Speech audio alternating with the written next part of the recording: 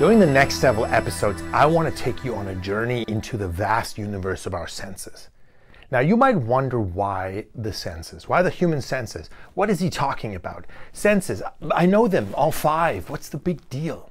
I always believe that we need to understand who we are as people, as humans, as individuals, and how we appear and how we function and how we change in time and space, like during our lives, like a study of self of who we are and why we are here.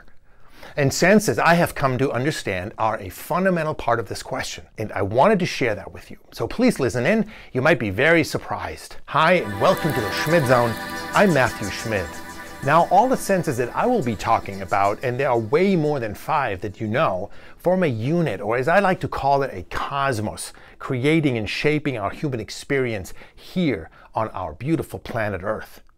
Now, senses are really amazing. First of all, they're super humble and loyal. They hardly need maintenance or they are always kind of available to you. Well, almost always, of course, unless they stop making sense.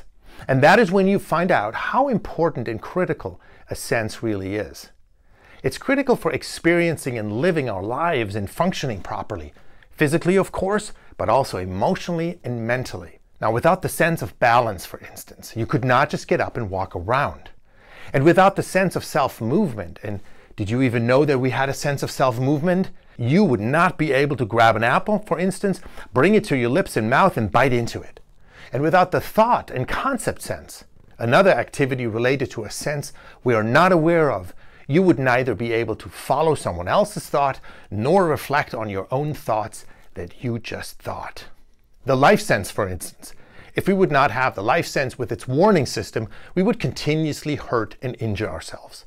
And of course, senses go beyond the physical. All sensory perception evoke feeling. I'd say that many of the emotional and psychological issues that we do have and increasingly suffer from have something to do with a sensory perception, or maybe I should say a lack thereof like attention deficit disorder or ADHD and anxiety, listlessness, nervousness, depression, they all could be linked to poorly developed and neglected senses, especially during childhood.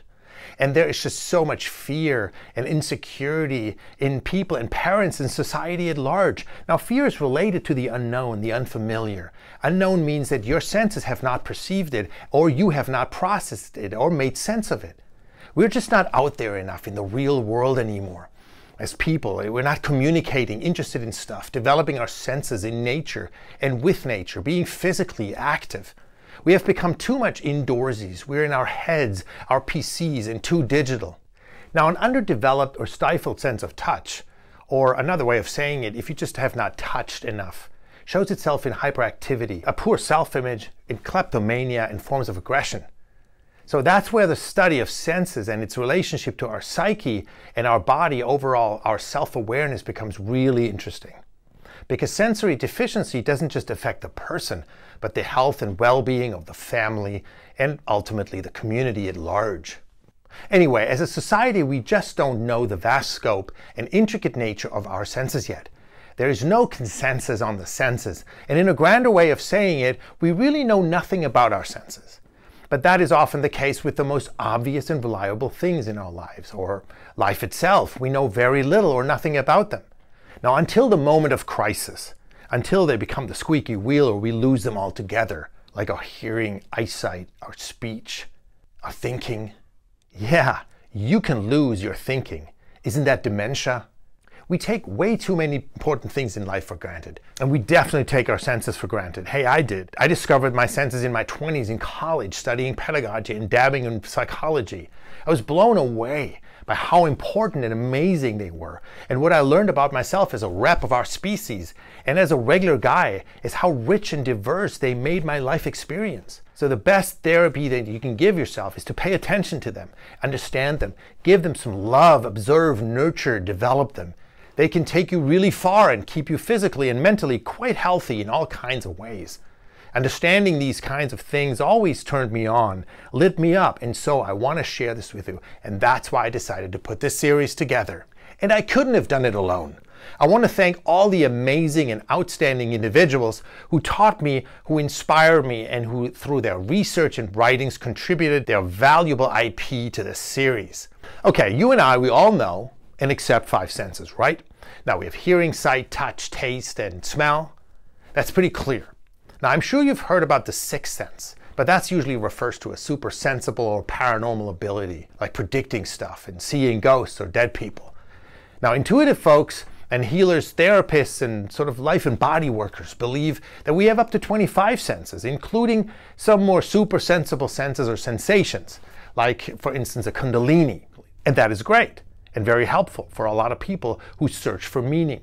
Now, neuroscience, or the doctors and professors of neuroscience, are looking at senses more restricted in reference to, let's say, the physical body only. But nevertheless, they have now identified at least nine senses. In this series, however, I will explore exactly 12 autonomous and independent separate senses and devote each episode to one of them.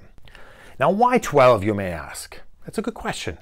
And because there are 12, and that will be explained in the series. But incidentally, 12 is an extraordinary number, the number of cosmic unity and the symbol of cosmic order. And we humans are a part of that. And we are looking into that cosmic order. Now, senses can have all kinds of technical names, and they can even have floral and indigenous names. But here we keep it really simple, we keep it real, we call them by what they are and what they do. So, to list them, we have the sense of touch, we have the life sense, the sense of self movement, the sense of balance, the sense of smell, sense of taste, sight, we have a temperature sense, a hearing sense, we have a word sense, the thought and concept sense, and at last but not least, the I sense or the self sense. Now that makes four physical and lower senses and four social and sort of middle senses, and we have four cognitive or higher senses. Now, a friend of mine, an important contributor to this show, talks about the sense ladder. I like that and he lists the senses this way. He has the bottom seven being the lower senses, and the top being the higher senses.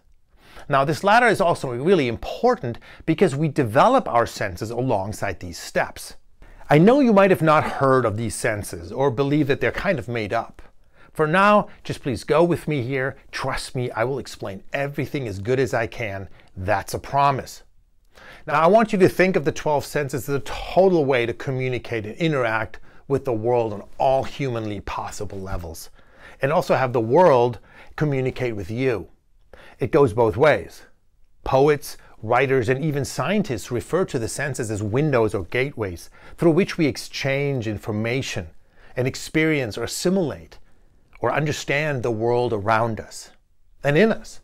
Think about that bike ride along the riverbank on a sunny, warm, fragrant spring morning with the birds chirping, dogs barking, water rushing, and so on. That is literally a sensational event or a party for the senses. Now, we also experience ourselves through the senses. We become self aware. We exist so we can comprehend who we are, our human nature, and in a magical way empower us to be more present and awake in our lives. Awaking means becoming conscious we can be better friends, partners, colleagues, and much better parents. Especially when raising children, a good sensory understanding and development is critical. Now, our senses usually work together seamlessly. Most are noticed by us. They can even help each other. Each individual sense, however, has a very one sided relationship to the world and a very distinct role to play, like the eye in seeing, skin, and touching, and so on. To communicate from inside out and from the outside in, a sense needs a home, an organ, or a place which acts as a receptor or transmitter. And that relationship doesn't have to be material. But our senses are not just like brilliant design parts in a machine. They're intelligent and alive because we are. They learn and develop with us, they grow through us, and change with us as we age. And of course, in return, we grow through them. Now, in this series, I'm making the best attempt to look at each sense by itself, isolated, so to speak, so we can focus on it.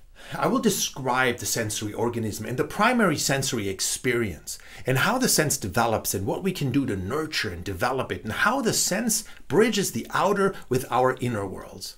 And I will also talk about the disorders and possible consequences of a poor sensory development.